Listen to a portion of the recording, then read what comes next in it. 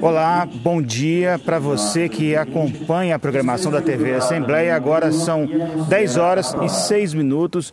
Estamos ao vivo aqui no plenário da Assembleia em Belo Horizonte e acaba de começar a reunião especial de plenário destinada debater proposições relacionadas à pandemia de Covid-19. Os parlamentares participarão de forma remota. Na presidência da reunião está o deputado Cristiano da Silveira, segundo vice-presidente da Assembleia. Vamos acompanhar. Deputada Beatriz Cerqueira, deputado Betão, deputado Carlos Pimenta, deputado Charles Azevedo, Charles Santos, deputado Coronel Henrique, deputado Dalmo Ribeiro Silva, delegado Eli Grilo, doutor, deputado doutor Jean Freire, deputado doutor Paulo, deputado Elismar Prado, deputado Fernando Pacheco, deputado Gustavo Santana, deputado Eli Tarquínio, deputado João Magalhães, deputada Leninha, deputado Leonídio Bolsas, deputada Marília Campos, deputado Marquinho Lemos, deputado Mauro Tramonte, deputada Rosângela Reis, deputado Sargento Rodrigues, deputado Sábio Souza Cruz, deputado Ulisses Gomes, deputado Zé Guilherme e deputado Zé Reis.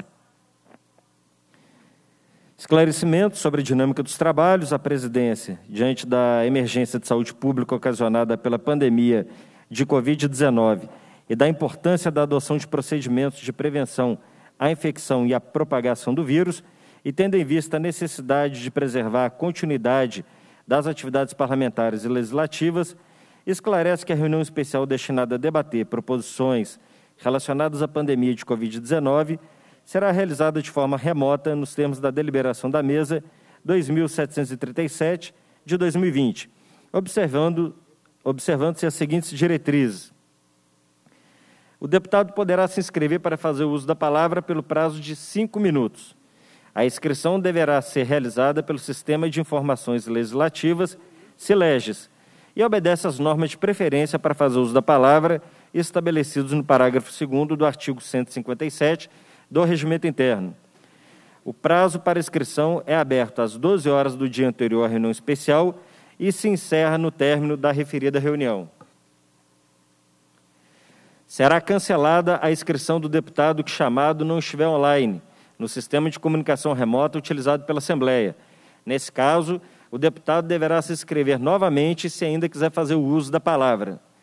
Havendo problemas técnicos ou perda de conexão, a presidência passará ao próximo orador inscrito e, assim que o deputado voltar a se conectar, ele será chamado para, para continuar, o seu pronunciamento, pelo, continuar o seu pronunciamento pelo tempo que lhe restar não será admitido a parte ao pronunciamento do deputado.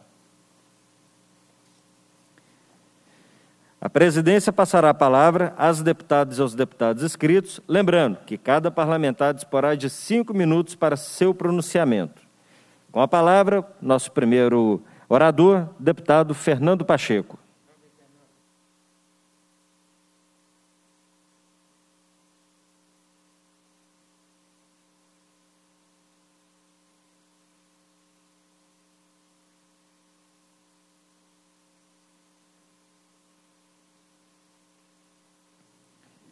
Só um minuto, deputado, já vai liberar seu áudio? Ok. presidente Cristiano Silveira. Bom dia especial a Vossa Excelência que preside esta sessão, todos os deputados e deputadas também presentes, e a discussão é, do momento é sobre a pauta da votação de amanhã, e eu sou um dos autores que compreende o projeto 2081 de 2020, onde nós tínhamos feito o 1912, que foi incorporado junto com mais novos projetos, e que eu creio que melhorou muito todo o contexto, porque deu uma dinâmica de novas diretrizes para podermos juntar ideias comuns. No caso, a minha ideia, presidente, demais deputados, deputadas, era para créditos do BDMG poder ser liberado a custo subsidiado pelo Estado para indústrias poderem alterar sua plataforma industrial e elas poderem também é, terem esse incentivo para produzir álcool em gel, máscaras, é, aventais, EPIs, que estão diretamente ligados à pandemia. Isso seria uma alternativa de darmos uma oportunidade a indústrias que queiram, aproveitando o que já existe instalado, fazer adaptações para não ficar parada a sua produção, uma vez que o comércio e a distribuição logística do produto está muito aquém do normal pelo processo de pandemia. Entendo que esse projeto ele é muito importante. O Estado poderá sim, via BDMG, suplantar condições para isso acontecer e a junção desse projeto com os demais deu uma dinâmica muito mais ampla e também uma diretriz muito melhor para o Estado. Então, essa proposta que eu apresento e que incorporou ao projeto 2081 de 2020, que será votado amanhã, ela tem muita urgência e temos que aprová-la. Eu peço a todos os deputados que sejam unânimes na aprovação, porque visa um planejamento e um bem comum nesse momento até o encerramento de todo o ciclo de pandemia, porque iremos conviver com esse contágio por um bom tempo, até mesmo depois de calamidades públicas, porque vai continuar a contaminação. E eu queria encerrar minha fala dizendo que Minas Gerais está com 82 mil casos confirmados, 1.752 óbitos, em torno de 85% dos leitos de UTI ocupado. Uma questão muito preocupante. O governador está hoje em Além Paraíba entregando cinco respiradores que nós conseguimos fazer uma intermediação junto à SES. Eu não posso ir lá porque estou em isolamento e também porque tenho o seminário da tarde, a reunião de hoje. Então, a nossa região está é, tá sofrendo muito, Muriaé, Cataguases, Leopoldina, além Paraíba, com a forte concentração de ocupação de leitos. Então, eu quero que todos dessa região específica que eu estou dizendo fiquem em casa, não saiam, não façam é, dessa situação crítica um risco maior. Temos que esperar essa, essa faixa de contágio máximo passar para nós podermos voltarmos às nossas atividades. Vamos respeitar a insuficiência de leitos, de profissionais que nós temos no nosso estado, na nossa região, no nosso país, e não nos expormos para uma contaminação. Assim eu me despeço, presidente. Um bom dia e obrigado pelo espaço. Muito obrigado companheiro Fernando Pacheco. Manda um abraço para você aí na nossa Zona da Mata. Nosso próximo orador inscrito, deputado Antônio Carlos Arantes. Bom dia, presidente. Bom dia, nobres colegas. Venho aqui primeiro agradecer vocês aí pela, pela as mensagens de otimismo, de torcendo pela minha recuperação e do Covid. O difícil é ficar aqui dentro de um quarto isolado, como eu estou, mas faz parte. E também mandar um abraço aí para o meu amigo também, deputado João Vitor, que também, eu espero que ele também, tem como seja como eu, sem nenhum sintoma, é muito mais tranquilo. Eu queria falar muito rapidamente aqui, presidente, sobre a reforma que está aí, nós estamos aí discutindo e votaremos rapidamente. Espero que seja bom. Né? O, o pessoal está falando o seguinte: essa, essa reforma vai ser um desastre. Gente, o desastre já aconteceu. Quando o governador Antônio Anastasia era governador, ele dizia: olha, as despesas estão crescendo e as receitas não estão acompanhando. Eu não posso, eu estou no sinal amarelo, ele falava, não posso avançar em despesa que eu chego no vermelho. O governo Pimentel assumiu e veio aí uma crise, inclusive a nível nacional, na época do presidente Dilma, dificultou mais ainda os repasses, o, o Estado déficit alto e, e também a verdade é que ele soltou muito, contratou muita gente, aumentou muita despesa. E aí veio também o desastre de Mariana, que impactou seriamente.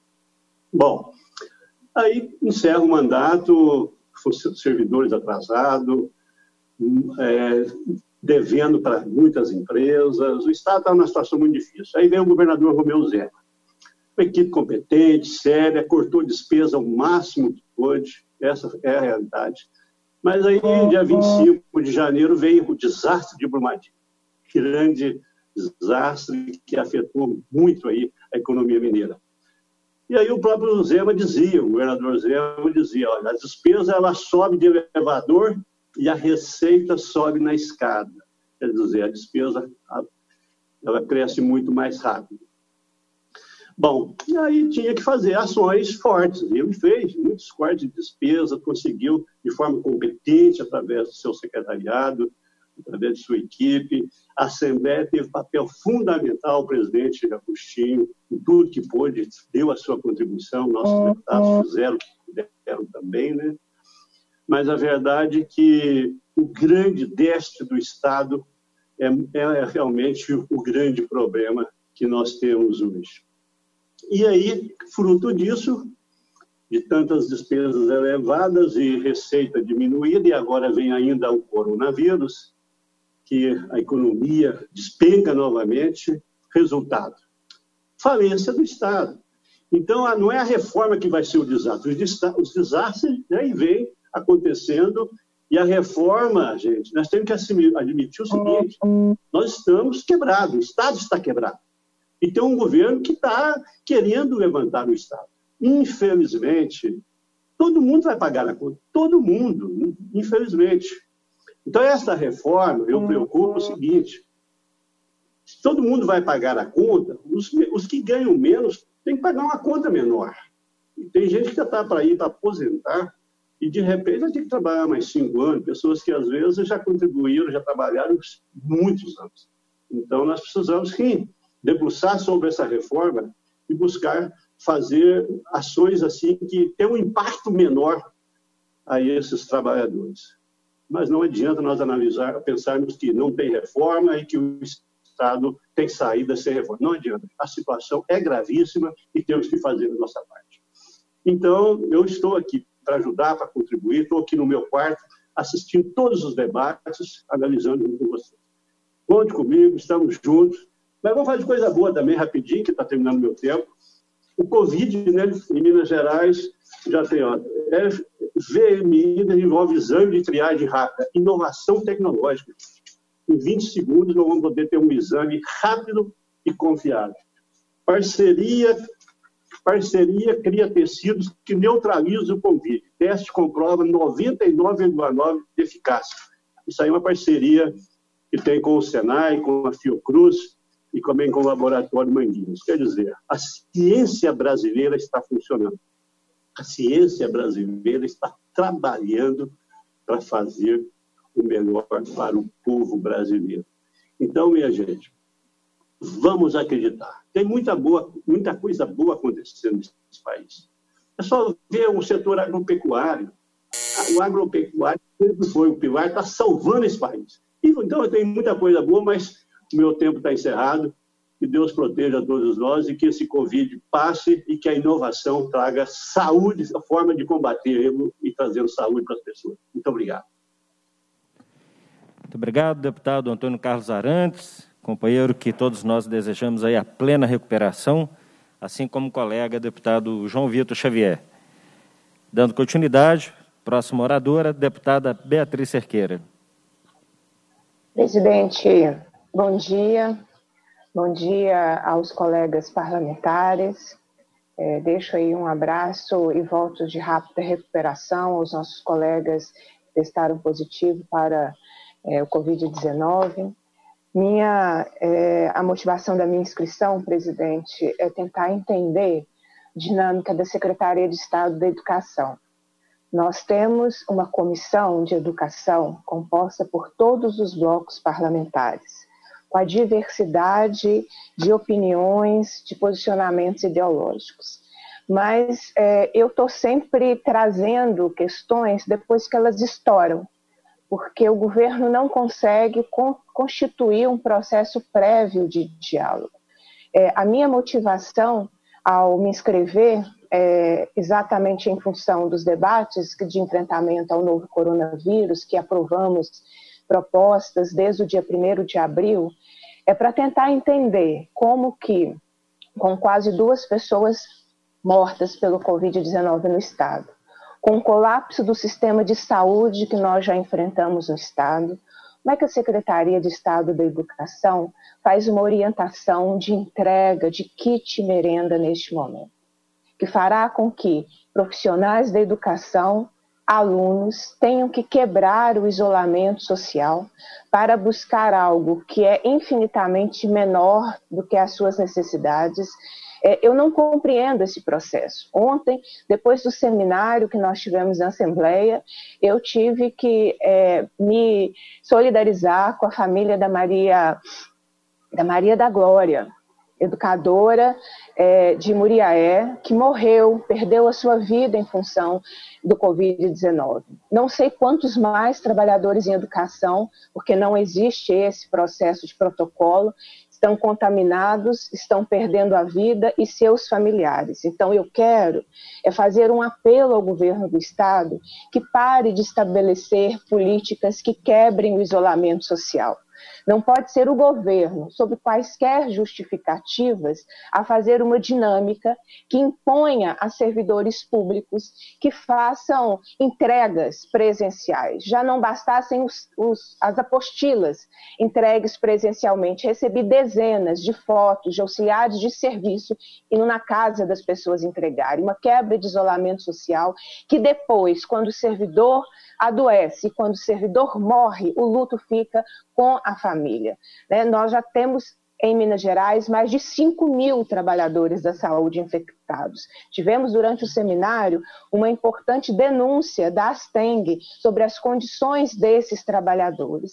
Então, é muito importante que nós possamos fortalecer o distanciamento social e não provocar um processo é, de que as pessoas precisam, os servidores públicos quebrem esse isolamento para entregar algo que não terá impacto na vida das pessoas, porque é essa avaliação de todos os diretores com quem eu conversei. É preciso ter uma outra dinâmica que não coloque em risco a vida dos servidores públicos e a vida, em específico, dos profissionais em educação. Eu recebi uma nota do Grupo Independente de Gestores Escolares, que faz exatamente é, esse debate que um processo, mais uma vez, não foi dialogado com os gestores escolares, assim como nunca é dialogado previamente com a Comissão de Educação, Ciência e Tecnologia da Assembleia Legislativa. Não basta depois nós batermos palmas e reconhecermos os trabalhos dos servidores públicos, sejam na área da saúde, sejam na área da educação, mas se antes é o próprio governo do Estado que quebra o isolamento social, impondo entrega e, e a quebra do isolamento social também acontece para a comunidade escolar. Os alunos que precisarão, ou seus familiares que precisarão é, se deslocar para faz, fazer esse recebimento, vários alunos fazem uso de transporte é, escolar ou transporte público para chegar até a escola. Então, esse processo precisa ser revisto. E as dinâmicas, é, as políticas na área da educação no Estado, elas precisam ser dialogadas. Eu tenho repetido, é preciso conversar com quem pensa diferente. Essa é a tarefa do governo. Essa é a tarefa do executivo. Você não pode só conversar com aqueles que se aproximam do seu pensamento. Você não pode criar grupo, é, grupo de, grupos que só vão corroborar com a sua forma de fazer política. Então, eu faço esse apelo para que a secretaria reveja esse comportamento, essa entrega de kits, isso está orientado através de um memorando. Muitos diretores de escola têm demonstrado a sua preocupação com esse processo agora, no meio de, uma, de um processo ascendente da pandemia no nosso estado. É, e repito, eu deixo esse apelo para que esse processo seja revisto, para que a gente fortaleça o distanciamento social, que todos que possam é, façam o isolamento e o distanciamento social. E não pode ser o governo a ser um promotor de chamar as pessoas e os seus servidores para a entrega de qualquer situação nesse momento. Precisa, podem ser constituídas outras formas é, da entrega de qualquer outro direito ou benefício que não seja esse da quebra do isolamento social. É esse meu apelo, presidente, porque nós estamos nos esforçando desde abril, votando proposições importantes sobre enfrentamento à Covid. Aí, enquanto a gente está nesse esforço, o governo faz processos de quebra de isolamento social, impondo a servidores públicos que façam é, entregas de material ou de quaisquer outras questões. Então, eu deixo esse apelo e aguardo ansiosamente um retorno em relação a isso. E deixo um novo apelo. Vamos conversar antes com é, a Assembleia Legislativa. Tem comissão de educação para isso. Obrigada, presidente. Muito obrigado. Dando continuidade, próximo orador escrito, deputado Carlos Pimenta. Bom dia, presidente Cristiano. Bom dia às deputadas, os deputados presentes. Primeiro, eu quero dizer é, da minha preocupação que nós estamos vivendo nesse momento, essa reunião para a gente poder debater as questões do Covid. E hoje pela manhã eu recebi um telefonema de uma paciente eu estou em Montes Claros, na minha casa, não estou indo ao meu consultório, à minha clínica, e essa paciente me ligou hoje pela manhã, mostrando-se muito preocupada com a, questão da, do coronavírus, da Covid, aqui em Montes Claros, no norte de Minas, em Minas Gerais, e ela me falava da possibilidade de uma filha que trabalha no comércio ter se contaminado e estava muito preocupada e não sei o que e tal. E, então, é esse o sentimento que nós estamos vivendo. As pessoas elas já estão convivendo com a Covid há mais de cinco meses. Muitos deles em casa, saindo um pouquinho, às vezes tomando um solzinho na parte da manhã, as pessoas mais idosas. E isso cansa as pessoas, cansa o intelectual das pessoas, cansa a paciência, cansa o corpo, porque você ficar confinado dentro de casa, você quase que atrofia os seus músculos, você não pode fazer um exercício. Então, é, o povo brasileiro e o povo mineiro está cansado, e, e com razão de estar cansado. Mas é importante que a gente comece a entender agora a dinâmica dessa pandemia, porque toda epidemia de qualquer tipo de vírus, ele tem um começo, tem um ápice, muito mais, mais, mais crucial, e depois começa a regredir até que a, a, acaba os casos, ou pelo menos diminui os casos. Isso vai acontecer, está acontecendo. Nós estamos aí agora no mês de julho, hoje é dia 16 de julho, eu acredito que até o mês de agosto nós vamos ver os casos aqui em Minas. Isso já estava esperado, isso é esperado que aconteça. Quando chegar em agosto, vai para setembro e outubro, você vai ter uma estabilidade dos casos em Minas Gerais. Eu acredito pelo, pelo andar né, é, da, da Covid aqui no nosso estado, de que nós vamos começar a ter o declínio da epidemia em Minas Gerais, lá para o mês de novembro é, e o mês de dezembro. E aí nós estamos apostando na vacina. Eu acredito que só com a vacina é que nós vamos ter o controle dessa doença, né, efetivamente. Mas eu queria também dizer, presidente, e Hoje eu estava vendo o, o, a imprensa de Montes Claros, jornal, o Gazeta, jornal de notícia, informando a liberação de recursos do governo do estado e do governo federal para os hospitais e para os municípios. Então, o dinheiro, graças a Deus, está chegando. O dinheiro do governo federal, eu, eu, nem sei como o governo federal está fazendo para poder é, é, é, socorrer os municípios neste momento. Nosso governo do Estado, não há nenhum contingenciamento de recursos em absoluto do governo do Estado, o dinheiro está chegando para os municípios. Eu só espero e estou exercendo o meu papel de fiscalizador de que os recursos que chegam nos municípios eles possam ser muito bem empregados, evitar as denúncias de escândalos como nós estamos vendo aí, né? Em alguns outros estados, aqui em Minas Gerais não. O governo Zema, o secretário Carlos Eduardo, eles estão agindo absolutamente dentro da ética, dentro do respeito e dentro da competência. Mesmo com o aumento de casos, o governo do Estado está sempre presente. Eu queria também dizer que os deputados também estão cumprindo o seu papel. Eu tenho repassado as minhas emendas para todos os municípios, para Montes Claros. Agora mesmo nós conseguimos, com o governo do Estado, a liberação de cinco aparelhos, chamado BIPAP. É um aparelho que, que, que, que injeta o ar com pressão positiva dentro do pulmão. Ele não substitui o respirador, porque o respirador precisa da pessoa estar entubada.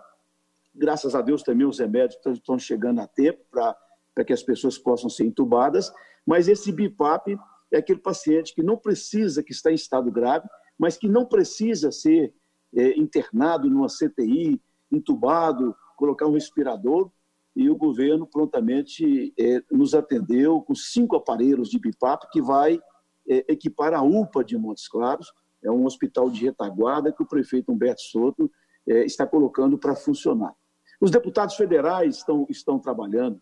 Eu estou vendo aí chegar emendas do deputado Lafayette Andrada, do deputado Ilac Pinto, do deputado Zé Silva, né, do, de outros deputados, mas eu queria sobressair, presidente, é, o deputado Marcelo de Freitas, nosso deputado federal, que é delegado da Polícia Federal, ele tem dado uma assistência muito boa aqui na região. Eu quero render as minhas homenagens a esses deputados federais, mas de maneira muito especial o deputado é, Marcelo de Freitas. E para terminar, presidente, por vez na vida, o senhor também está aí há algum tempo, eu estou vendo aí os senadores mineiros mostrando a cara.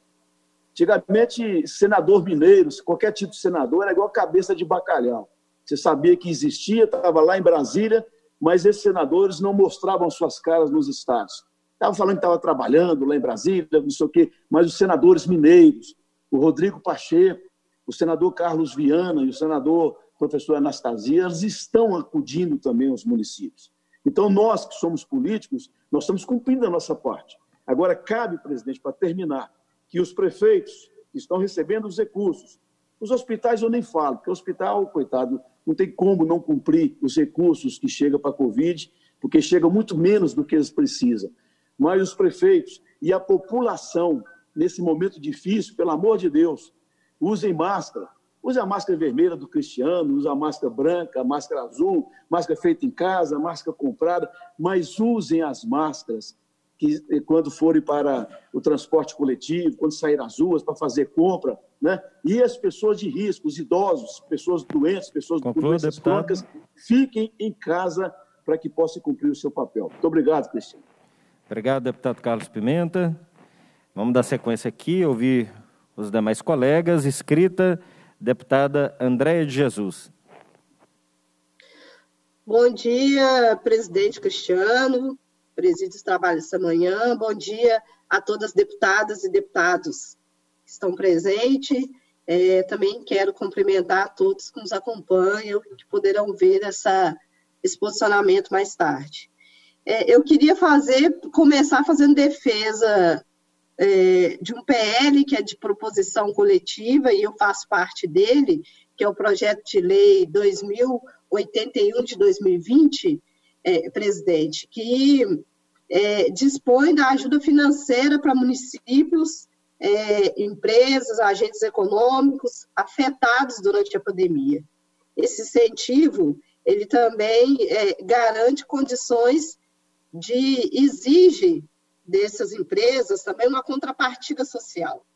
É, sabemos que várias empresas nos municípios estão em situação muito difícil durante a pandemia esse nosso PL tem como objetivo gerar uma segurança, uma rede de segurança com manutenção de empregos, medidas essenciais para superar os efeitos da pandemia sobre a população é, e peço apoio dos parlamentares na aprovação desse PL. Né?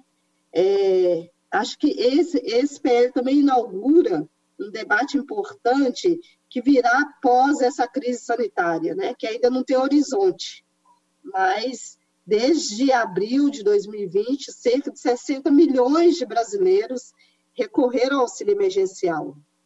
Esse valor de 600 reais para manter as famílias, a gente sabe que é, que é, é, é essencial, mas não é, não, não substitui é, as pessoas terem a renda própria, terem o seu emprego, e a gente precisa investir nisso para que é, a crise econômica não se estenda como tem se estendido a crise sanitária. Né? A gente tem visto organizações, movimentos sociais trabalhando num plano de recuperação de economia popular. Então, assim, é isso que o governador Zema não tem coragem de fazer, ouvir as pessoas, elas estão se, se auto-organizando e pensando em inclusão produtiva, imediata, imediatas e imediatas, né? medida de renda básica, distribuição de renda, retomada de contrato coletivo, de, de, de coleta seletiva. Então, tem uma série de ações é, e que precisa de incentivo do Estado, que começa pela não apreensão de mercadoria dos trabalhadores informais, porque isso também é uma forma de fomentar outras formas de renda para que as pessoas sobrevivam. Né? Quero também parabenizar a deputada Ana Paula Siqueira, ela também apresenta um PL que é muito importante, esbarra nesse tema da renda, mas principalmente pensando no atendimento das mulheres vítimas de violência, é, é, muito importante que a gente incentive e que as empresas também tenham incentivo a contratar essas mulheres para romper esse ciclo de violência no ambiente doméstico. Né? Agora, sobre o PL é, 2065, ele dispõe sobre a, a, é, o ensino remoto na rede estadual. Esse demanda uma discussão um pouco mais aprofundada e eu queria trazer alguns elementos a partir do que eu ouvi dos profissionais da educação, né? São categorias que vêm afirmando que estão executando uma carga horária de trabalho maior do que a presencial, são maioria de mulheres, chefe de família, então, nesse momento, também defendendo a família, preservando a saúde da família, e elas não têm, vem ouvindo, é, é, de fato, o governador Zema tem relegado implementação das aulas remotas sem oferecer qualquer tipo de suporte, né? Não receberam formação, não receberam equipamento, não receberam internet, não existe uma plataforma padrão para comunicação funcional, o chat de aplicativo do governo não oferece recurso suficiente, é, obriga a utilização de WhatsApp, de e-mails. É, resumindo, as trabalhadoras e os trabalhadores estão sendo obrigados a criar uma educação à distância do zero, sem, com os recursos próprios, né? É, isso, é, esse trabalho remoto vai virar uma alternativa é, é, que vai adoecer ainda mais esses trabalhadores. O resultado disso é mais da metade dos alunos sem sequer estão é, é, é, tendo contato com o ensino à distância. Né? Menos de um terço estão realizando as atividades. Esses dados precisam aparecer para a gente debater e discutir regulamentação para o ensino à distância. Né? Ou seja, milhões de estudantes estão excluídos desse modelo do governador. É, ademais, tem projetos também que visam suspender os prazos dos concursos públicos isso também é um prejuízo diante dos direitos dos participantes. E para finalizar, eu queria trazer a preocupação a partir dessa relação dos servidores públicos com a reforma da Previdência.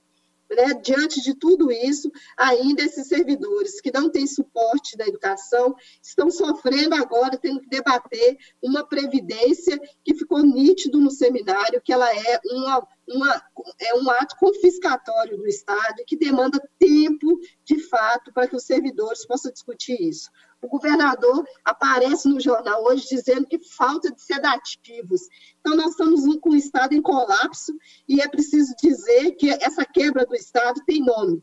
Hoje, a Polícia Civil também está prendendo várias pessoas é, envolvidas em fraudes no contrato da penitenciária privada construída aqui em Ribeirão das Neves durante o governo Aécio Neves. Então, o Estado está quebrado, mas tem nome de quem quebrou. Então, esse, essa carga não pode cair sobre os servidores. Por isso, eu continuo mantendo que, nesse momento, a gente não pode manter a tramitação da Previdência sem a participação qualificada dos servidores. Obrigado pela contribuição, obrigado pelo espaço. Essas são as minhas palavras, presidente.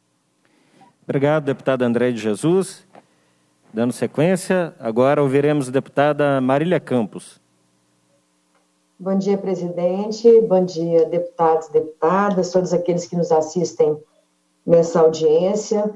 Deixando aí meu abraço especial aos deputados Antônio Carlos Arantes e também ao deputado João Vitor Xavier, desejando aí uma recuperação rápida, né, para que a gente possa contar com a presença maior de vocês nos debates. Presidente, primeiro eu queria me posicionar em relação aos alguns projetos que eu acho que são importantes de fazer uma consideração. Primeiro, ressaltar a importância do projeto do professor Wendel, o 1739, que suspende os prazos de validade do concurso público, isso dos concursos públicos realizados. Isso é muito importante para que aquelas pessoas que tenham sido selecionadas não sejam prejudicadas né, na, no processo é, da viabilização do próprio concurso. O outro projeto da deputada Ana Paula, que cria o banco de emprego para as mulheres é, vítimas de violência doméstica, muito importante, principalmente o Estado implementando a criação desse banco de empregos, fazendo parcerias com a iniciativa privada para desenvolver a autonomia das mulheres contribuindo para que o processo de superação é, da, desse trauma da violência doméstica seja apoiado por essa política governamental. E, por último, eu queria é, também fazer uma consideração sobre o projeto de vários deputados, inclusive da deputada Andréa de Jesus, mas também do Celinho, do Jean, Raul Belém, Gil Pereira, vários deputados que é a questão é, de concessão do crédito né, para pequenas empresas, médias empresas e também para os municípios.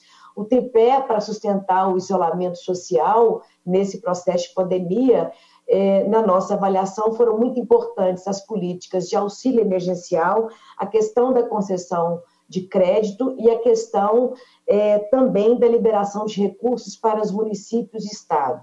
Em relação à questão do crédito, eu não vi que o projeto contemple essa questão, mas talvez fosse importante também é, fazer com que o BDNG é, faça uma filiação ao Fundo Garantidor de Operações. Vejam bem, nós, através do Banco do Brasil, Caixa Econômica Federal e Banco Itaú, nós já conseguimos, os bancos já conseguiram liberar 13 bilhões de reais para as pequenas e médias empresas. Somente o Banco Itaú e o Banco do Brasil conseguiram atender 117 mil empresas. Isso é muito importante não só para manter essas empresas vivas, né, porque nós estamos tendo muita falência de empresa, como também para preservar os empregos no nosso Estado. Então, talvez fosse importante o Banco de Desenvolvimento de Minas Gerais aderir a esse programa e, dessa forma, contribuir para manter a atividade econômica e os empregos em Minas Gerais. É, outra questão que eu queria colocar, é, eu também tenho uma, uma, um senão em relação ao projeto 2065 do nosso colega deputado Dorgal, especialmente, deputado, porque é, se computa como é, na, a carga horária do, do da, das atividades que foram feitas de forma remotas. E como houve uma exclusão muito grande de estudantes, é, eu acho extremamente complicado considerar esses, essas atividades remotas como é, dias letivos. Né? Então, acho que era importante rever esse projeto, é, que eu acho que é importante ter esse projeto, mas modificando para atender é, a necessidade também daqueles que não puderam ter aulas. Segundo, eu queria colocar uma questão muito triste, né, na questão da pandemia, os dados de contagem eles são muito assustadores, né? Que eu, inclusive, apresentei um requerimento solicitando informações à Prefeitura de Contagem. É, ontem eu tive acesso a alguns dados, né? É, a questão dos óbitos em contagem, nós estamos com 102 óbitos em contagem. Isso significa uma taxa de letalidade de 4,89 para 2025 casos, 4,89 é a taxa de letalidade. E isso é muito maior do que a taxa de letalidade, por exemplo, é, de Betim, que é 3,31, de Belo Horizonte, que é de 2,5, e do próprio estado, que é de 2,14. Então, me preocupa muito essa taxa de letalidade, deputado Cristiano, para concluir, e eu apresentei um requerimento, então, para cobrar uma avaliação da Prefeitura de Contagem do porquê dessa letalidade tão alta no município de Contagem. E, por último, não poderia deixar de colocar também a questão da reforma da Previdência, talvez respondendo um pouco para o deputado Carlos Arantes. A gente não está se negando a discutir a reforma ou a fazer a reforma. Só não podemos concordar com a rapidez, com fazer a discussão sem participação popular. Nós estamos ouvindo os sindicatos, as associações, estamos confirmando a complexidade da reforma, que é um verdadeiro saco de maldades, um sacrifício enorme para os trabalhadores, não apenas da ativa, mas inclusive aposentados e pensionistas, porque na própria reforma institui cobrança de alíquota para aqueles aposentados e pensionistas que ganham menos do que o teto do INSS, como também a própria pensão por morte, que podemos ter pensão de aposentados, deputado Cristiano, pensão de 627 reais, menos do que um salário mínimo. Então, essa reforma é um sacrifício muito grande para os servidores do Estado e tudo isso em nome de um equilíbrio que a gente sabe que só virá salvação para Minas Gerais, não às custas do servidor público, mas através do crescimento econômico do Brasil e do nosso Estado. Essas são as minhas palavras. Obrigada, deputado Cristiano. Ok, ouvimos a deputada Marília Campos. Dando sequência agora, nossa outra companheira deputada estadual, Ana Paula Siqueira. Bom dia, presidente. Bom dia, colegas deputadas, colegas deputados, todo o povo mineiro que nos acompanha no dia de hoje. Eu quero hoje, presidente, fazer aqui uma fala acerca dos projetos que vamos votar amanhã no plenário. São vários projetos todos extremamente importantes, mas eu quero destacar um projeto de minha autoria, o projeto de número 176 de 2019, que prevê um novo objetivo na política de atendimento às mulheres vítimas de violência no Estado. Ele incorpora à legislação o banco de empregos para mulheres vítimas de violência. O projeto ele pretende que o governo estabeleça é, um banco de empregos, articulando parceria com órgãos privados, com outros entes, para priorizar o atendimento a essas mulheres que já sofrem tanto né, nas suas casas, nos seus ambientes familiares, com a violência doméstica. Eu tenho um dado que eu queria compartilhar, um levantamento feito no ano passado pelo Instituto de Pesquisa Data Senado, em parceria com o Observatório da Mulher contra a Violência. Esse estudo ele apresenta que 27% das mulheres que foram entrevistadas declararam já ter sido vítima de violência doméstica. Desses 27%, 34% afirma que depende financeiramente do agressor. Então, nós estamos falando de um problema muito sério, porque as mulheres que são vítimas de violência, além de elas não conseguirem quebrar esse, esse ciclo né, da violência, elas estão subordinadas pela questão financeira. E essas mulheres, em geral, elas sofrem doenças psicossomáticas em função da violência, sintomas de pânico e ainda depressão. Para quebrar esse ciclo, para a gente virar essa chave, é muito importante dar para essas mulheres a oportunidade da sua autonomia financeira. A dependência financeira ela é um dos principais fatores geradores e de permanência na situação de violência doméstica. O trabalho ele gera renda, né, o recurso, a grana para que a mulher tenha condições de fazer, atender às suas demandas, às suas necessidades, o cuidado com seus filhos, o cuidado com si próprio, mas muito mais do que a renda, o trabalho, ele dá para essas mulheres força, ele dá confiança, ele abre novas perspectivas. E é especialmente nesse momento de enfrentamento da pandemia, onde é crescente o número de ocorrências de violências domésticas contra as mulheres, que eu quero pedir aqui aos meus pares, às minhas colegas deputadas, aos meus colegas deputados, que possamos amanhã fazer uma votação positiva, afirmativa nesse projeto 176, dando para as mulheres de Minas Gerais a perspectiva de que o Estado de Minas vai tratar essa política, esse perfil, como política pública prioritária, que demanda atenção, que demanda foco, especialmente nesse momento em que é crescente o número da violência, mas que também já sinaliza que o pós-pandemia será um momento muito difícil para a economia. Será um momento onde nós teremos menos disponibilidade de emprego, onde nós teremos uma maior precarização dos trabalhos. Então, ser tratado como política pública, priorização para as mulheres vítimas de violência, será extremamente importante, será uma mão estendida para esse perfil que tanto sofre. É, eu queria destacar aqui também que são várias, é, vários aspectos envoltos a questão da violência contra a mulher.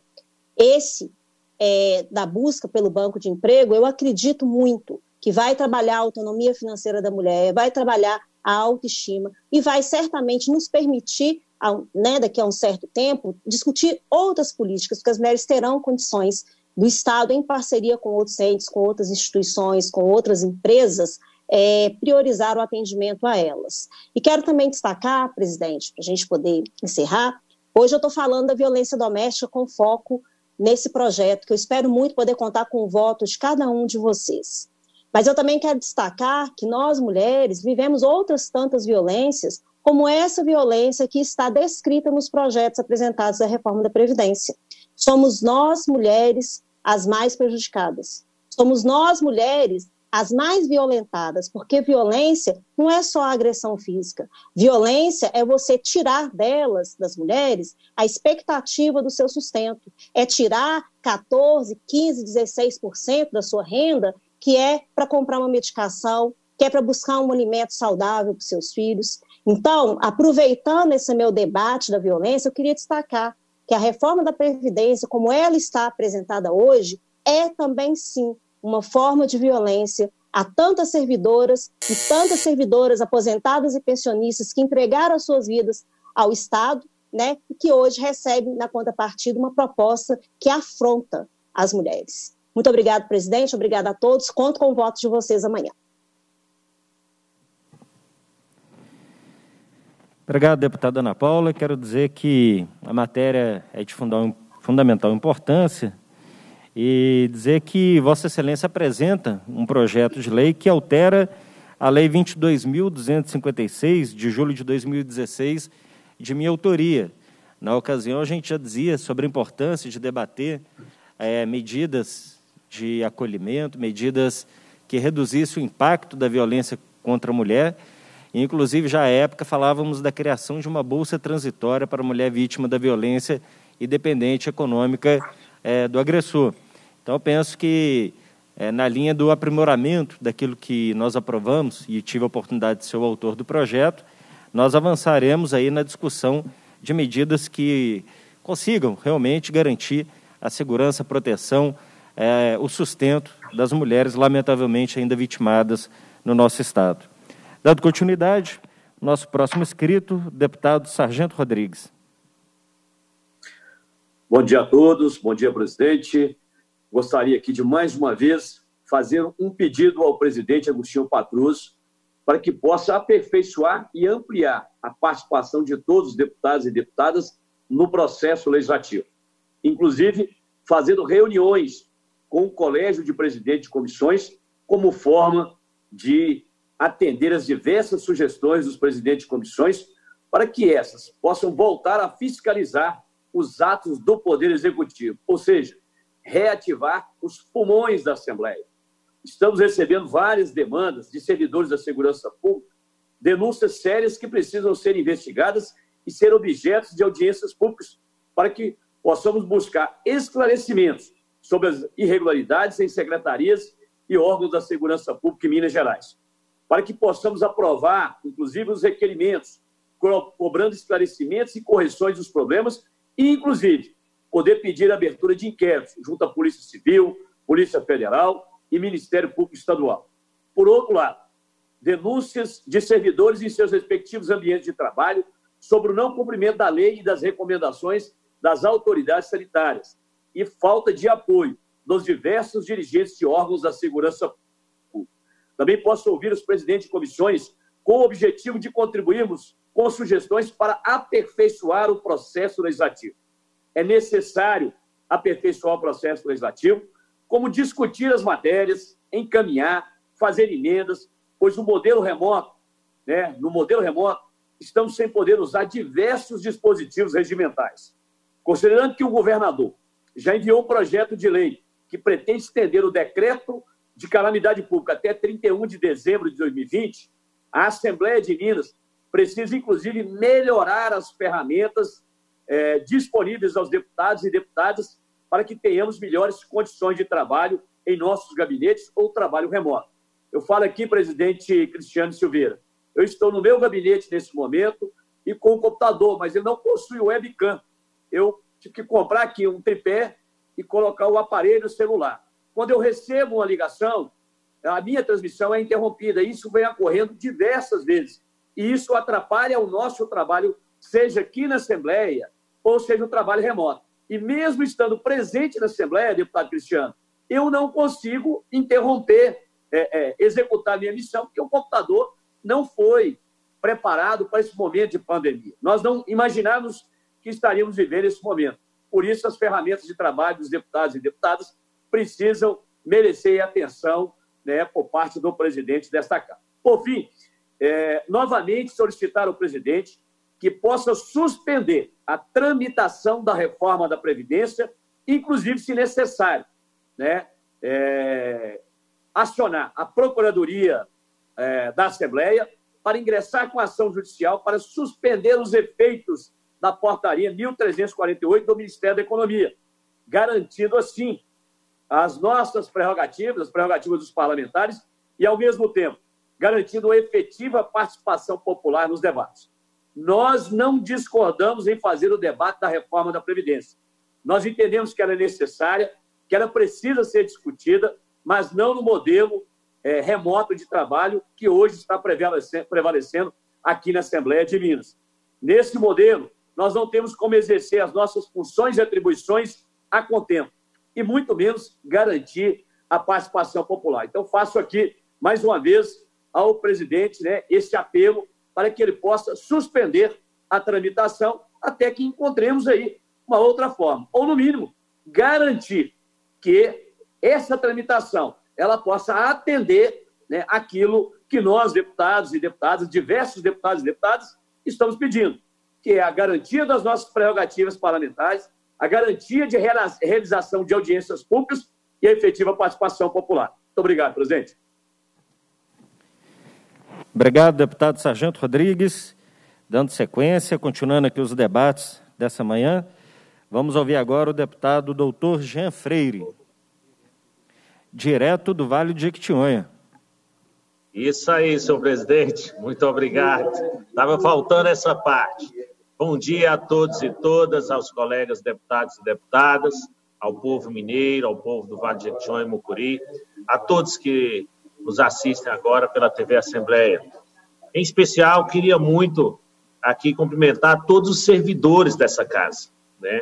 os servidores que estão se expondo, indo ao trabalho, fazendo com que esse momento possa acontecer, né? De reuniões aqui, e mesmo esses servidores que estão se expondo ao risco, indo ao trabalho, são servidores também que nesse momento sofrem aí o risco, né, dois riscos, né, de pegar o vírus, né, de pegar a doença, a Covid-19, e de ser é, também sacrificados pelo governo do Estado nessa desreforma da Previdência.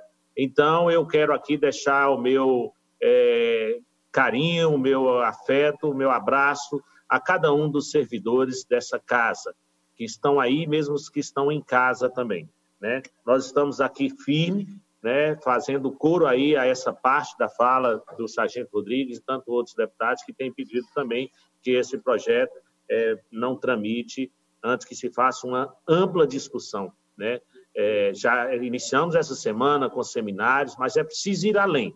É preciso realmente escutar as pessoas para que se faça reforma é algo para melhorar. Né? Quando a gente vai fazer uma reforma na casa da gente, é para melhorar, e não para piorar, e não para penalizar é, aqueles que sempre são penalizados. Senhor presidente, caros colegas deputados e deputadas, eu estou evitando mais falar dessa reforma da Previdência nesse momento, porque, ao meu ver, deveríamos todos nós estarmos preocupados em debater como enfrentar essa pandemia como enfrentar esse momento que nós estamos vivendo. Parece que a gente vê na TV, parece que em alguns lugares as pessoas acostumaram, começam a fazer aglomerações. E se olhar a média de mortes no Brasil, continua a mesma. E lá no início, quando falavam que Minas Gerais estava tudo bem, nós estávamos avisando. E hoje a gente vê Minas um dos estados onde está crescendo as mortes. Olha, meus colegas deputados, uma coisa é estar de fora completamente de fora desse processo. E as pessoas sofrem. Mesmo assim, só de ver na televisão, só de assistir, só de ver um ou outro andar de máscara na rua, só de alguém ver é, a distância, não poder abraçar, não poder dar as mãos, só isso já faz o sofrimento. Outra coisa é estar na linha de frente. Eu acho que todos nós parlamentares, todo homem público, mulher pública, tem a, a, a real função de estar na linha de frente, porque a política também é um jeito de cuidar das pessoas. Eu dizia desde o início que poderia chegar um momento que eu estaria nas duas linhas de frente. Uma como parlamentar, que nunca sai dela, outro como médico. E hoje eu estou também como médico na linha de frente.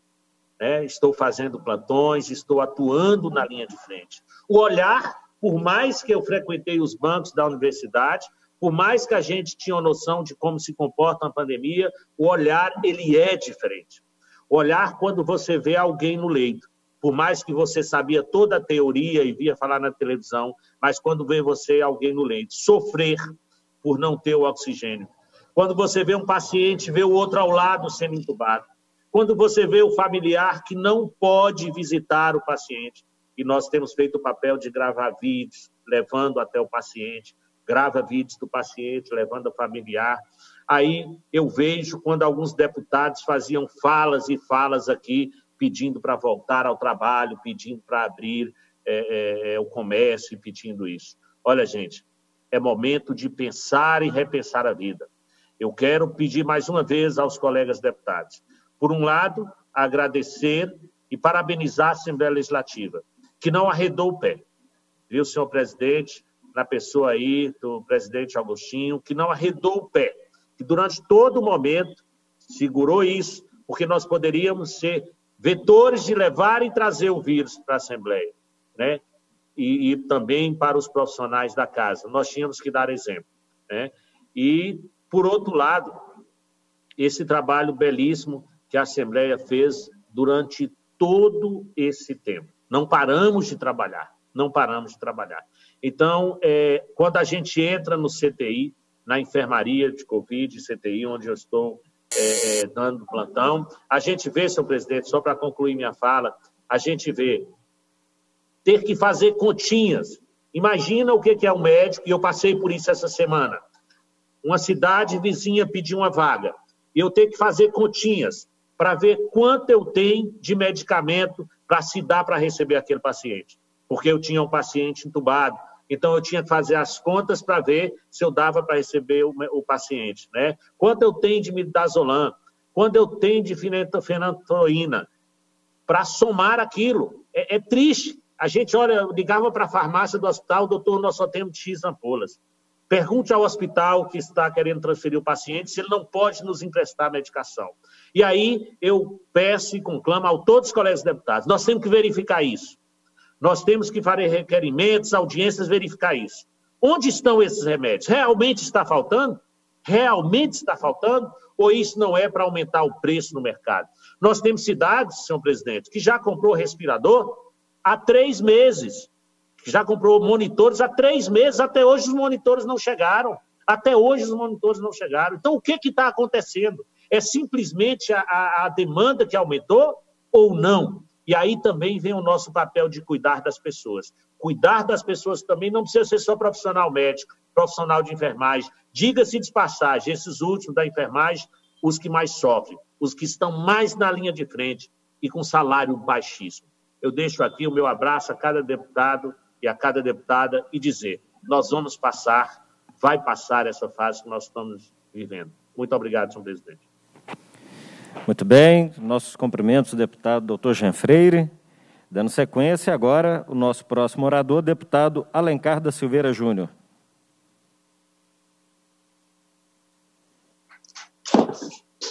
Senhor presidente, senhores deputados e deputadas, companheiros e companheiras, primeiro eu gostaria de lembrar que amanhã, já foi colocado por outros companheiros aí, nós estaremos votando um projeto de minha autoria, que é uma linha de crédito do BDMG.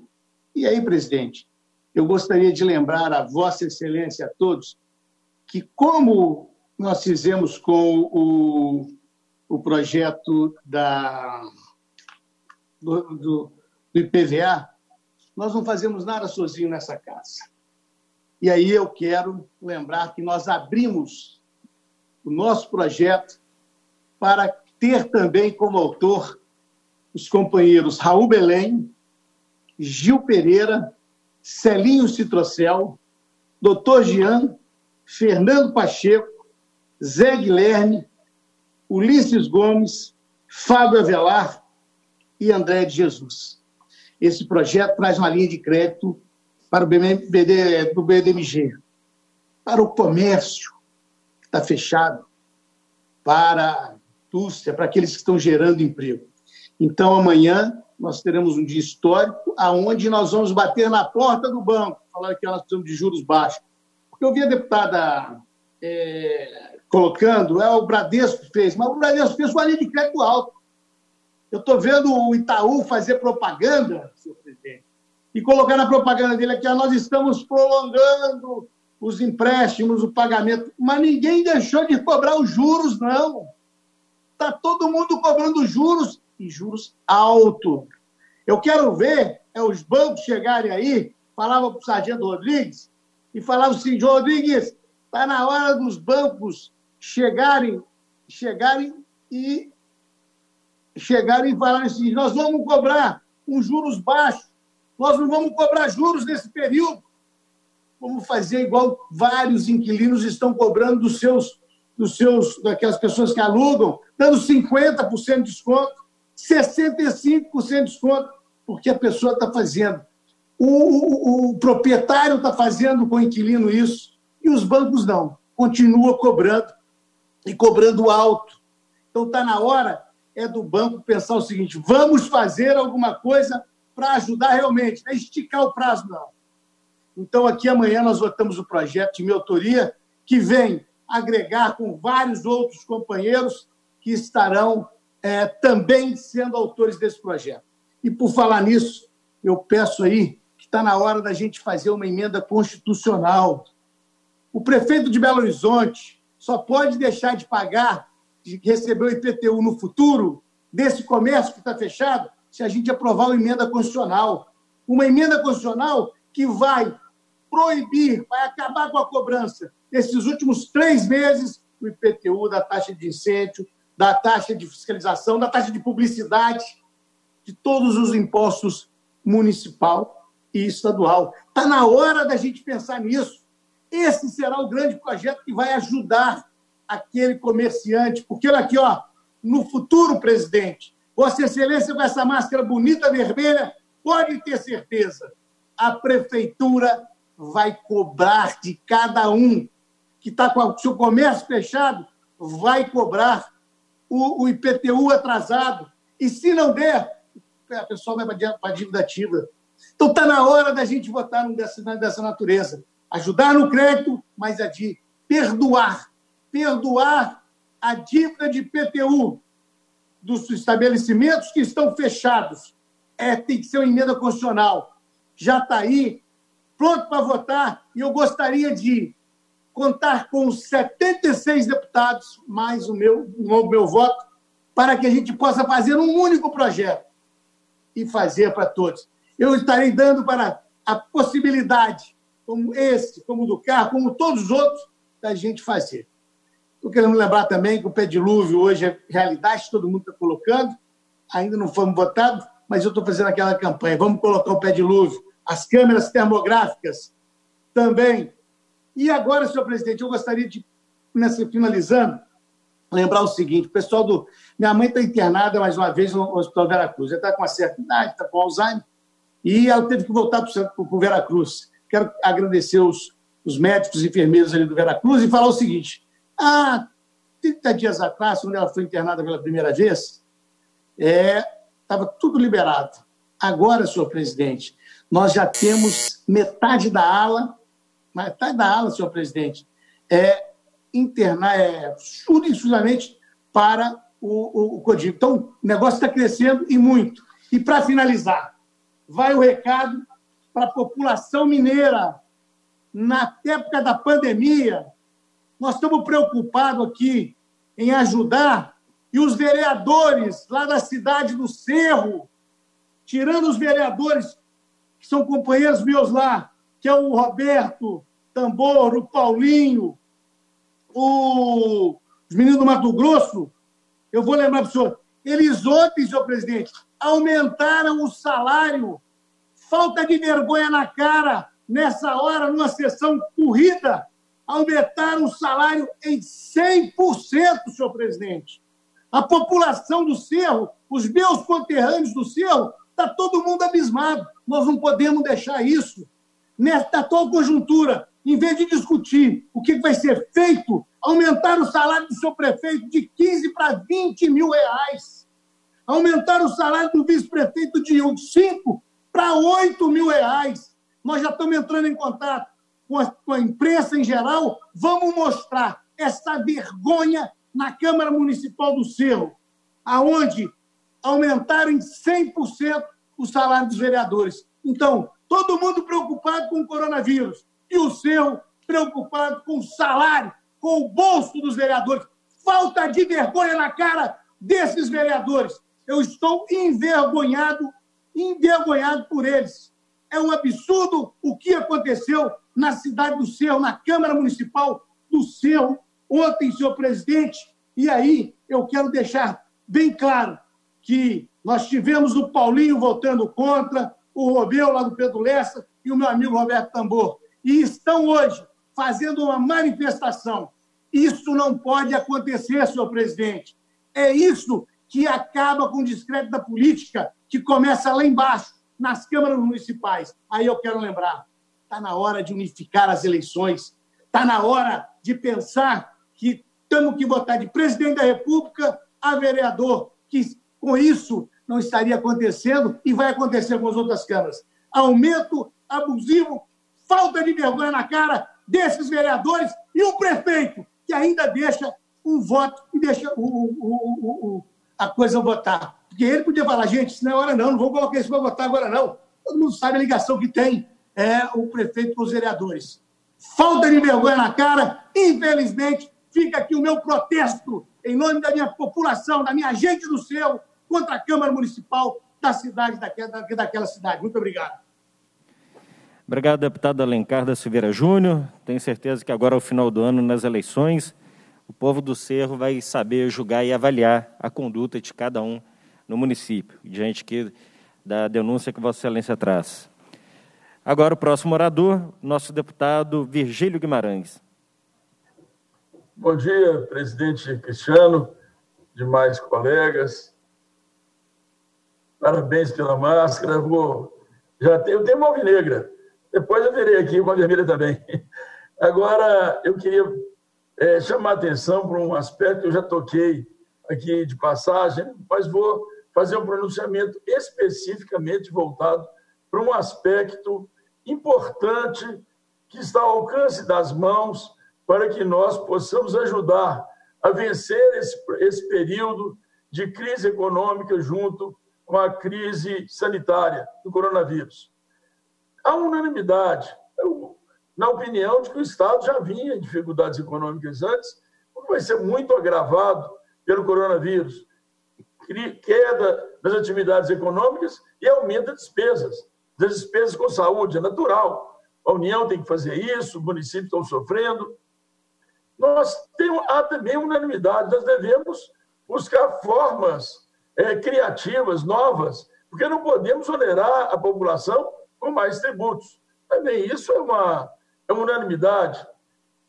Todos, até aqueles que apoiam a reforma da Previdência, lamentam que tenham que votar. Uns votaram contra, outros vão votar a favor, mas ninguém acha que é o momento ideal para se aumentar a tributação da contribuição previdenciária dos servidores públicos. Ninguém pensa isso.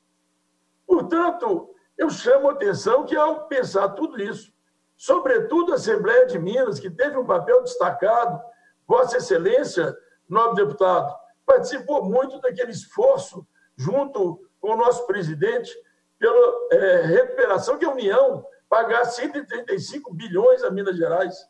Um, um esforço junto do governo federal não, não obteve êxito. Não quero entrar no mérito disso.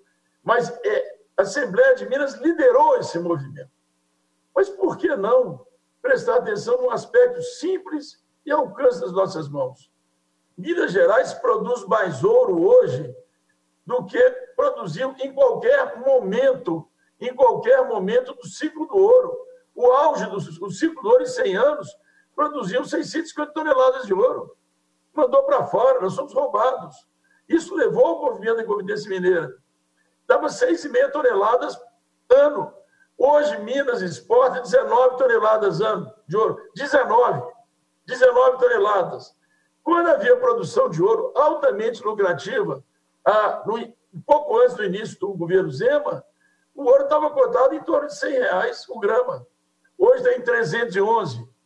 O, todos os capitais do mundo buscam um porto seguro e ele está em 311 com viés de alta. Esse ouro vai embora, leva todo esse ouro sem nenhuma tributação. Não quero fazer discussão aqui sobre tributar café, soja, minério de ferro, até o nióbio, que eu acho que cabe bem uma tributação de exportação. Mas o ouro é inegável. É inegável.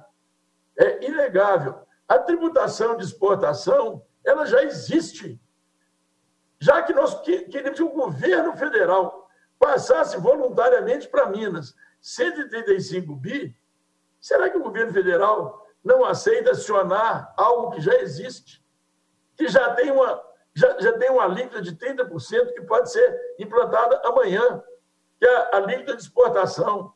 O imposto de exportação ele, ele já existe, ele já tem uma alíquota, ele pode ser acionado sem qualquer autorização legislativa ele pode ser aplicado no, no equilíbrio econômico de qualquer órgão, pode ser inclusive na Previdência de Minas, ele pode ser de, destinado a qualquer, qualquer elemento do Estado, não há regra para isso. Pode ser cobrado no Estado e não em outro, porque ele é regulatório. Minas devia fazer um movimento. Eu não quero cobrar 30, quero ficar na história. O quinto do ouro, 20%. O quinto do ouro foi implantado quando em meados do século XVIII, houve o terremoto, o, o, mais o tsunami, mais incêndio, mais a peste, que destruiu Lisboa. Qual foi a solução? O quinto do ouro. O quinto do ouro aqui em Minas Gerais. Nós podemos, isso foi para nos roubar o ouro do Brasil. Nós temos que fazer o quinto do ouro para segurar uma parte aqui, que hoje está indo embora, sem pagar imposto. É um, é um, é um, um imposto é, que não se paga, porque é, a, o ICMS não incide sobre exportação. Mas para isso existe o imposto de exportação. Ele pode ser implantado, basta uma reunião é, remota do Conselho Monetário Nacional. É muito mais simples do que querer que o governo federal transferisse 135 bi para Minas. Vamos exigir o quinto do ouro, 20% sobre exportação. São só quatro empresas, são quatro. É uma aqui de Nova Lima, aquela lá de Paracatu, uma de Riacho dos Machados e tem uma quarta que eu não estou me lembrando aqui agora, mas as três maiores são essas que eu citei. São 19 toneladas de ouro a 300 a 20%, isso dá esse ano, se começar a cobrar a partir de 1 de agosto, são 450 bilhões. Já estou descontando aí o, o, o, as impurezas do ouro, já estou descontando o deságio na, na, na, na cotação. Dá quase meio bi em 2020. 2020 vai afetar quem? Essas empresas ganhavam muito com 100 reais a, a, a, o grama, hoje é 311. Se tirar 20%, eles mais que estão dobrando os seus ganhos. São quatro empresas. É, é simples demais. A campanha, a volta do quinto do ouro. Agora o ouro é nosso. A campanha, o ouro é nosso, ele é de Minas. O, o ciclo do ouro não é coisa do passado, não. É coisa do presente. O quinto do ouro foi quando a, tributação era, é, é, ela, ela, ela era um presumido. Quando veio a derrama, daí teve a revolta toda, porque a, a, a derrama era cobrança dos atrasados. É, o, o, ouro já tinha caído, eles estavam querendo cobrar sobre o, as 6,5 toneladas, que eram, já, já não, não, se produzia mais.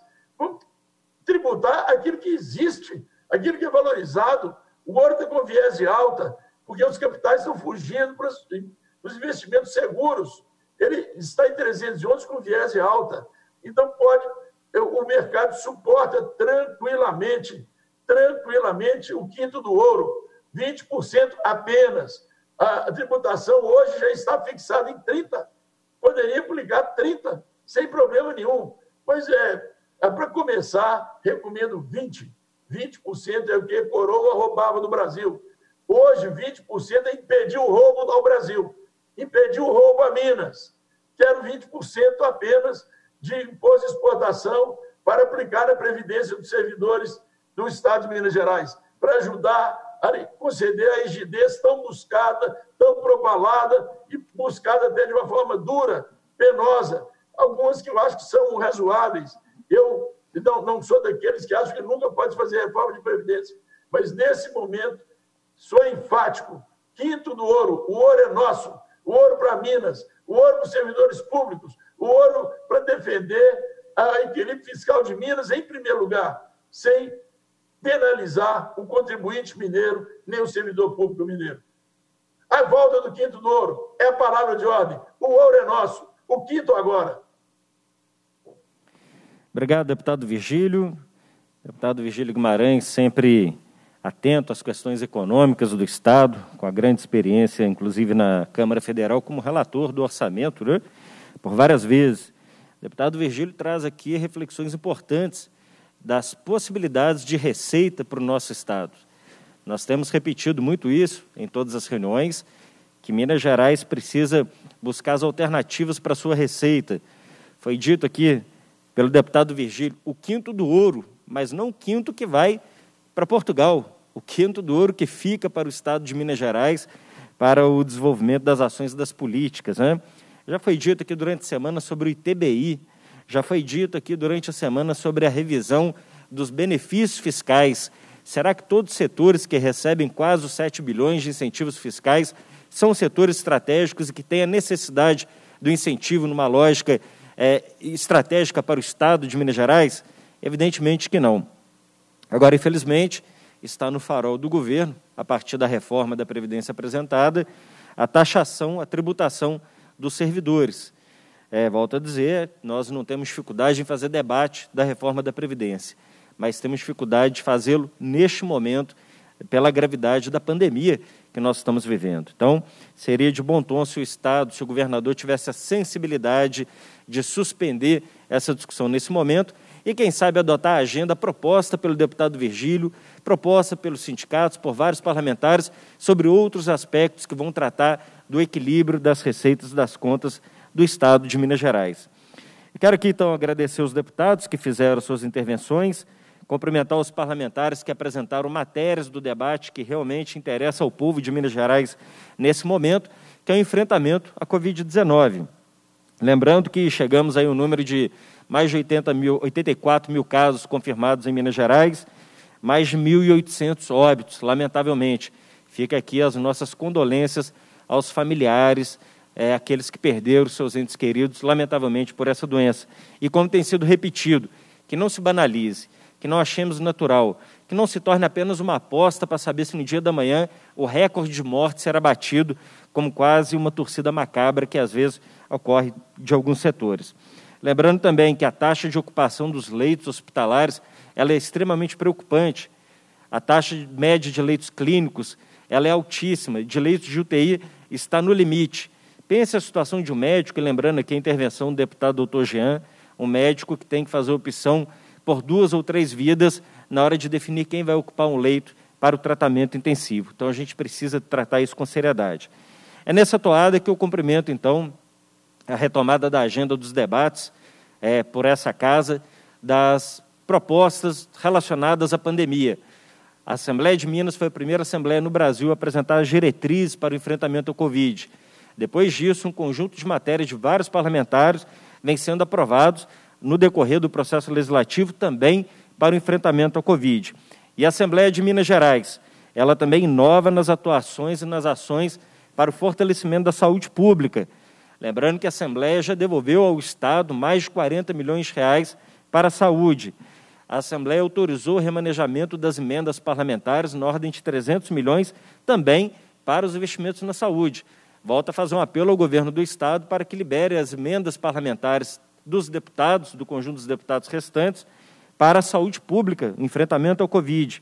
E também foi aprovada aqui nessa casa a lei do deputado Alencar, do uso, da obrigação do uso das máscaras, dentre outras diversas leis, e com a economia, com o esforço de economia feito pelo Parlamento Mineiro, é, como, por exemplo, redução de verbas indenizatórias, um milhão e meio de reais destinados ao FMG, para que seja feita produção de máscaras, é, a telemedicina, também as testagens e desenvolvimento de respiradores. Então, aqui eu faço os cumprimentos a todos os deputados, à mesa diretora, os nossos líderes, pelo papel que a Assembleia tem cumprido ao enfrentamento da Covid-19 no nosso Estado.